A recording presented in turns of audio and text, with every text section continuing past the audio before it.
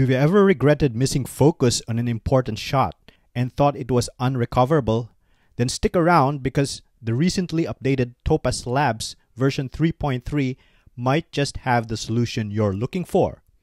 The tool, which Topaz calls a breakthrough image enhancement technology, is called Super Focus and is still in beta.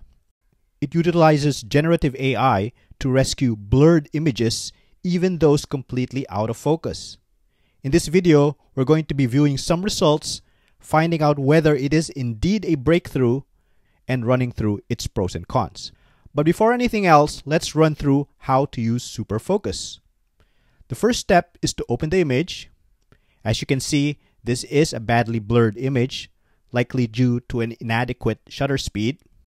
I'll click Super Focus. That brings us to the Super Focus interface. Clicking on the main view brings up a rectangular widget which is used to preview an area, critical to help you decide whether the results are satisfactory enough to proceed with a full image rendering, enduring the long waiting time. One nice feature of Super Focus is it supports masking. You can specify the mask via the Edit Selection button.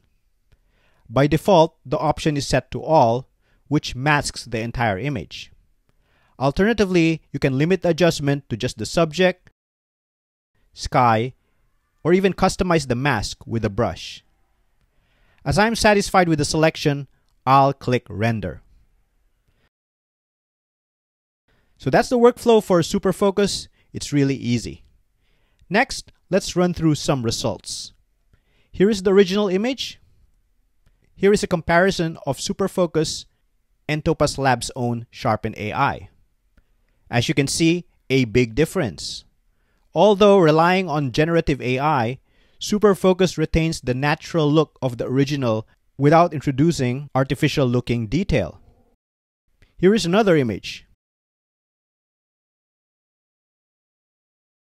While Super Focus seems to work best for portraits and animals, it also does a great job for other types of objects. In this example, I'm sharpening a building. Although Super Focus added some artificial looking content, which might not be acceptable to some, the final image, to my eyes, is still more usable than the original. Here's another example. So those were the results. What are my thoughts on Super Focus? Is it a breakthrough as Topaz Labs claims?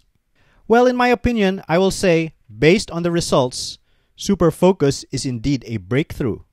As far as I'm aware, there is no existing competing tool that comes remotely close to the quality produced by Super Focus in correcting out of focus, badly blurred images. But that could change in the fast paced world of photo editing Am I glad I never deleted my blurred photos? In any case, Super Focus is a winner for Topaz Labs and another reason to fork out $200 for Photo AI. On the other hand, are there any disadvantages? Definitely yes. Its main issue is Super Focus is glacially slow. It would take 40 minutes to several hours to finish even a single 12 megapixel JPEG in my admittedly underpowered desktop. It won't even work in any Mac with an AMD GPU. You can bet it will take a lot longer with full frame RAW files. In fact, the forums are filled with posts saying Super Focus is unusable for them.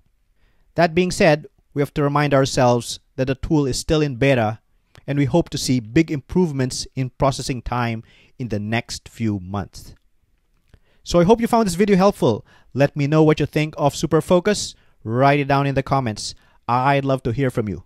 And if you like this content, don't forget to like, subscribe, and share to help keep the videos coming. Until the next video, I'm going to see you in the next one. Bye for now.